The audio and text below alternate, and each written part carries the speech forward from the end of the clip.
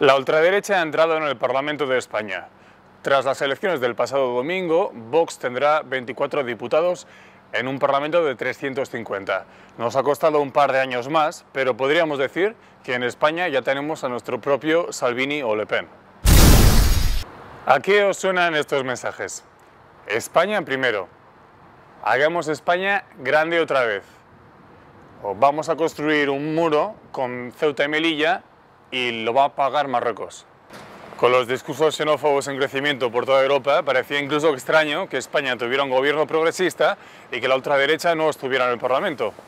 El Partido Socialista ha ganado las elecciones, pero el 10% de las personas han votado a Vox, que entra en el Parlamento con 24 diputados. Es la primera vez que la ultraderecha entra en el Parlamento en España desde el inicio de la democracia, aunque lo hace con una representación menor de la que se esperaba que es también menor a la que partidos de ultraderecha han tenido en otros países de Europa como Austria, Finlandia o Alemania. ¿Por qué vota la gente a Vox?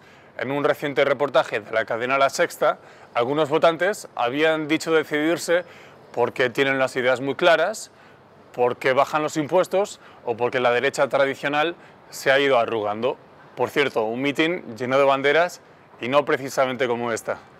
Nada más conocerse los resultados de las elecciones generales del pasado domingo, el secretario general de Vox, Ortega Smith, salió a decir a sus seguidores que seguirían luchando contra el lenguaje políticamente correcto, similar al lenguaje de Trump, vamos. En Café Babel, como periodistas, siempre tratamos de informar de la manera más neutral, pero si nos preguntáis qué opinamos, diremos que más que de países y de banderas, somos de personas primero.